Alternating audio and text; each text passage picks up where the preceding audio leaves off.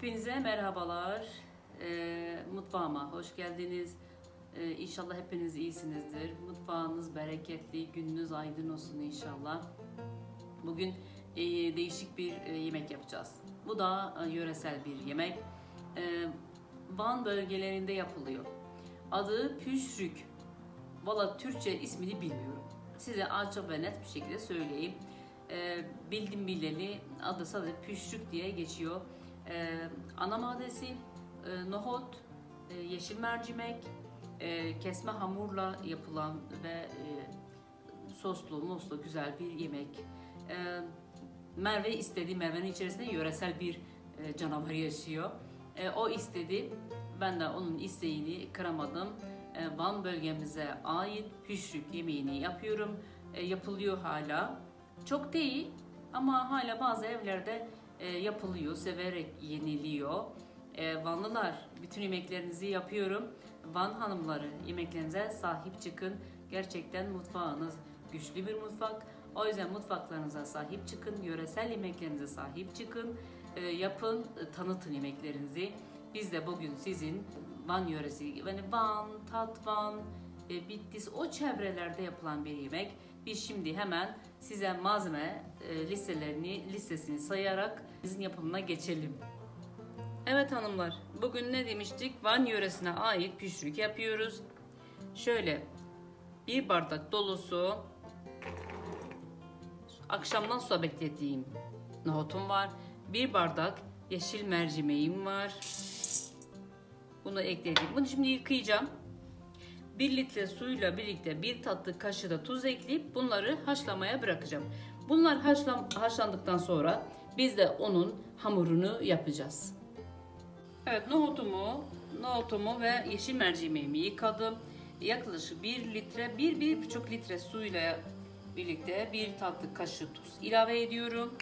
Bunu ağzını kapatıp bu haşlanacak. Bu haşlandıktan sonra, sonra bizde e, bunun hamuru o yoğrulacak. E, kesme hamur olacak içinde. Bunun hamurunu yoğuralım. Evet şimdi benim e, mercimekle nohutlarım pişiyor. Burada yaklaşık 2 bardak un var. 2 su bardağı un var.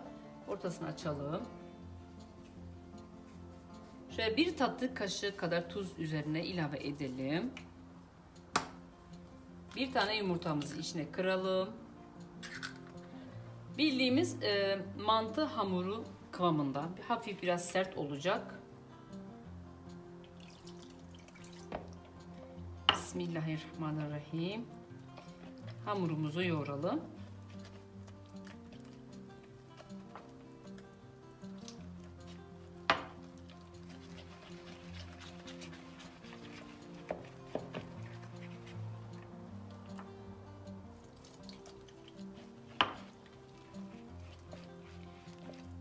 Mantı hamurun kıvamında olacak, sert olacak.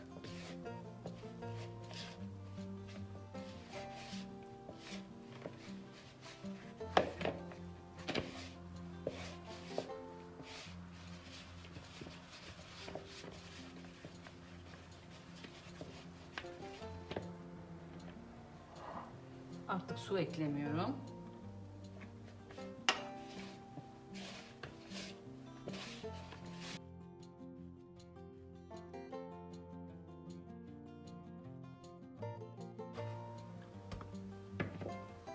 Şöyle bir beze olacak şeklinde.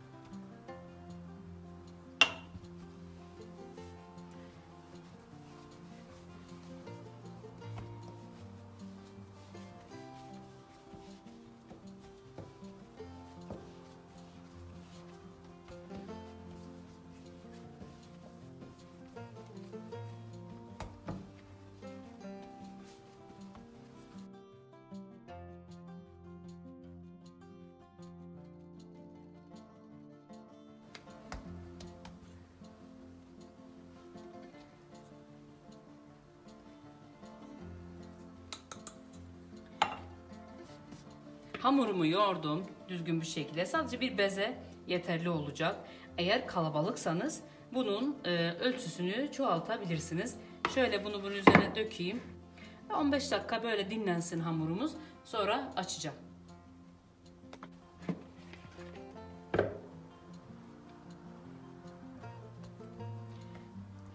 Görüyorsunuz hamurum tam bir mantı hamuru gibi. Bunu şimdi açacağım.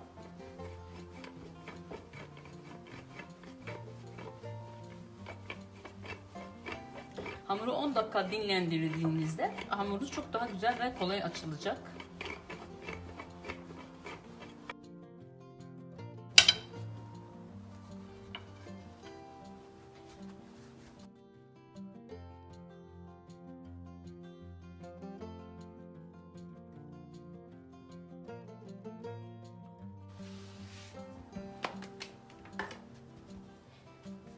Evet yufkamızı açtık. Şöyle ince ince kesiyoruz.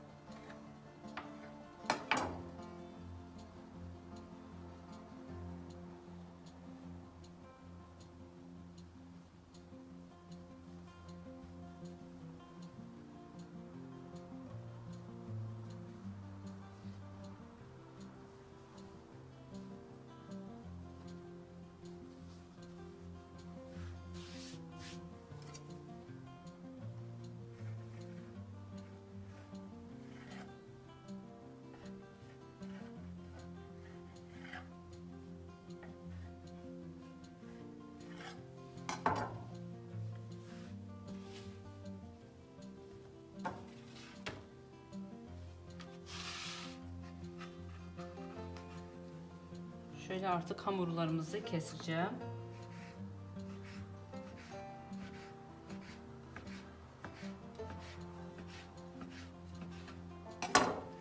Hamurlarımız şu şekil olacak.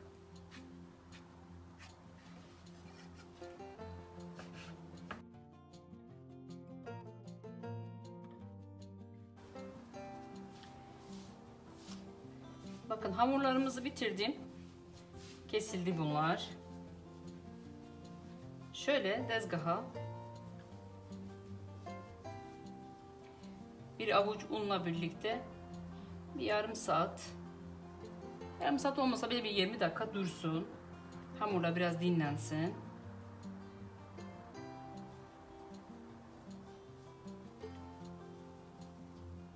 Evet. Biz de e, sosumuzu yapalım.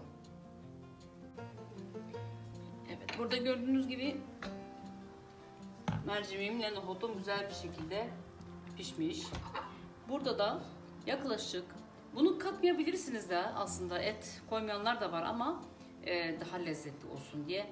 250 grama yakın kuzu etim var kuşbaşı. Haşlanmış bunu ekledim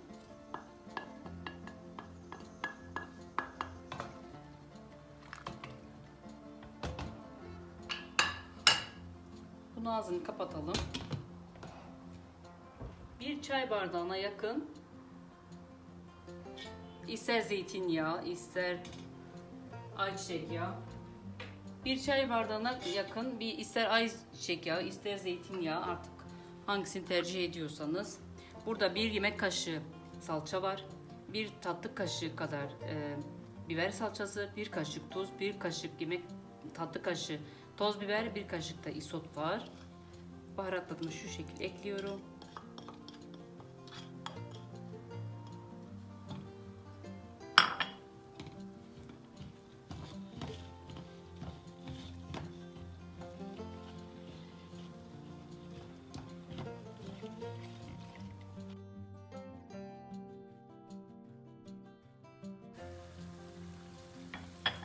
Sosumuz biraz pişsin. Sosumuzu artık ekleyeceğiz.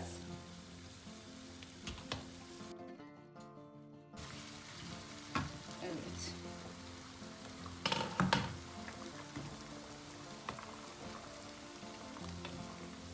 Nohutlarımız ve etlerimiz çok güzel haşlanmış. Şimdi sosumuzu ilave edeceğim.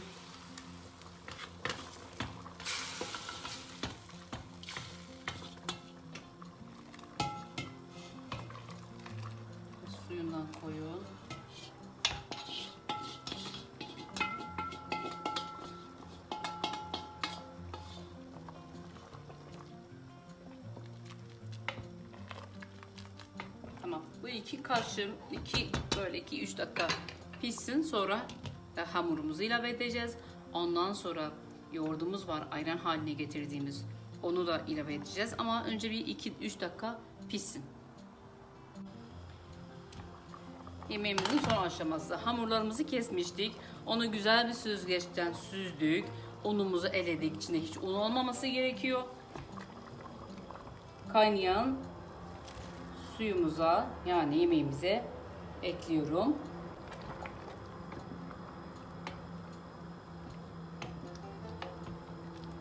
Hemen karıştırıyorum ki yapışmasın. Evet yapışma olmadı.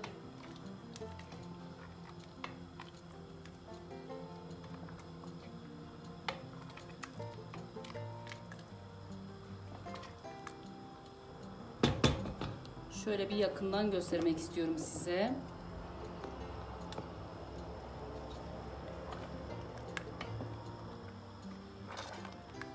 Hiçbir şekilde yapıştırma olmadı. Hamurlarımız çok güzel tek tek içinde şu an görünüyor. Şimdi burada da yoğurdum var. Yoğurdumu iyicene karıştırdım.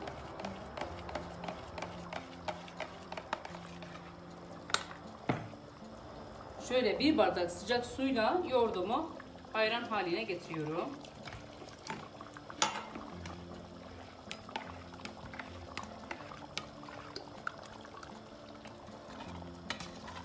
Yavaş yavaş yemeğime ilave ediyorum.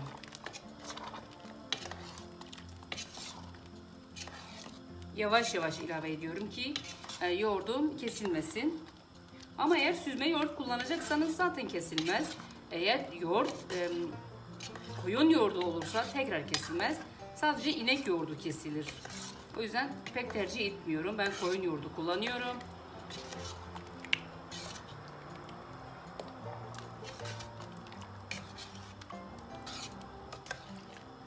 Evet.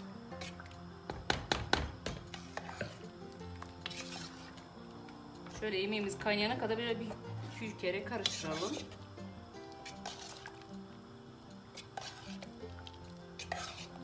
Yemeğimiz kısık ateşte 1-2 kaynamadıktan kaynadıktan sonra yemeğimiz dinlenmeye alacağım. Evet yemeğim güzel bir şekilde pişti. Yemeğimi kapattım. Şimdi üzeri için güzel bir soğanlı sos hazırlayacağız. O yüzden soğanlarımı jülyen jülyen doğrayacağım.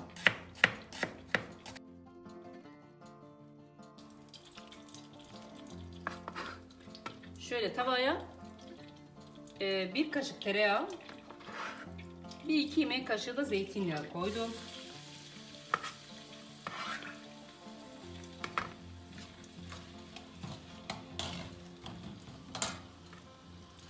Bunu da doğrayalım. Tam bir soğan. İsteyenler için. Bu özeri için çok güzel bir süs oluyor, sos oluyor. Arzu edenler için. Ee, arzu etmeyenler kullanmayabilir. Biraz uğraştırmalı bir yemek ama tadı gayet güzel. Hem doyurucu, hem besleyici, hem sağlıklı bir yemek. Çok az bir tatlı kaşığı tuzla bu soğan pembeleşecek.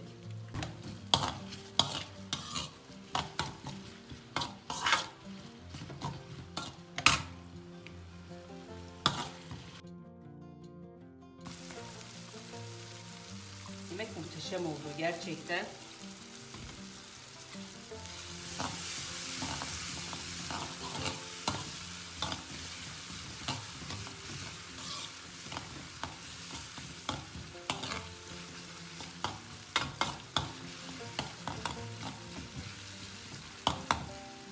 Evet, soğanımız karamelize olsun.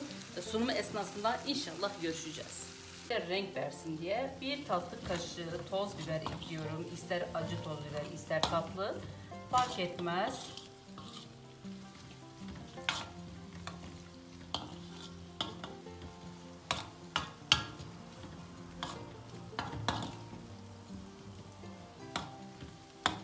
Gerçekten yemeğimiz harika oldu ya. İnşallah dinlensin yemeğimiz. Sunum esnasında e, soğan üzerine dökeceğiz. Soğan soslu olacak. Çok lezzet veriyor. Ayrı bir görüntüsü de güzel oluyor. E, sunumda görüşmek üzere. Şimdi yemeğimi de servis yapacağım. Şu şekil oluyor. Üzerine de arzuya göre soğan ekleniyor böyle. Şu şekil. Göz hakkınız için hakkınızı helal edin. Mutfaklarınız bereketli olsun. Beğen butonuna basmayı unutmayın. Abone olursanız sevinirim. Görüşmek üzere. Allah'a emanet olun.